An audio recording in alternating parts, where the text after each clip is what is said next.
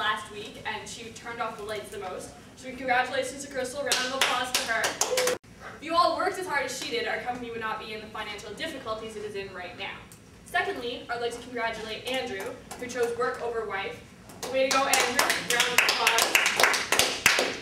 If you all stayed here as long as he did, our company also would not be suffering financially as much as it is. Next, I'd like to move on to this uh, graph here. This is the, our company's profits as time goes along. You'll notice that they're doing a nosedive right now. It's because you all are slacking off. Which brings me to this pie chart here, which is how much of our time is being wasted. 12% of our time is being wasted from people taking too long for lunch. Taya, I noticed you spent at least extra five minutes at lunch today. That is unacceptable. Sorry. Better not happen again. Next, 15% of our time is being wasted on people coming late. Andrew, I noticed you were late at least three times this week. I'm going through a divorce. I don't care. Make you care on time. Andrew, I'm sorry about your divorce. I loved your wife.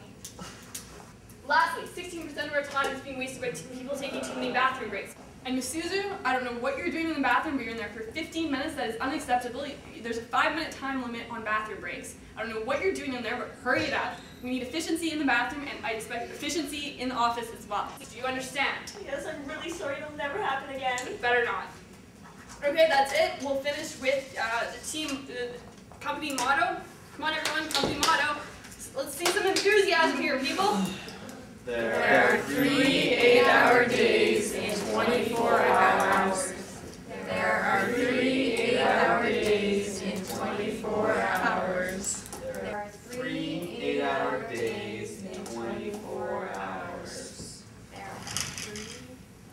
this look familiar in your workplace?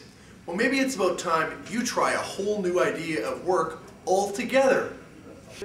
Are you experiencing dissatisfaction? Bang! or are you experiencing high turnover? There's the report. This isn't nearly long enough. This is unacceptable. You know what? I quit.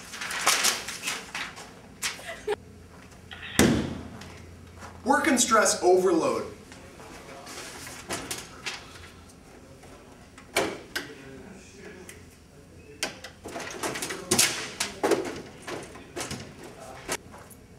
And let's not forget about decreased productivity.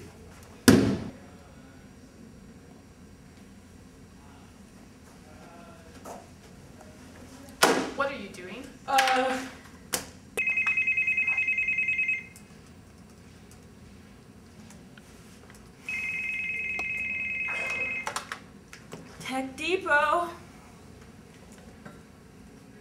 Whatever.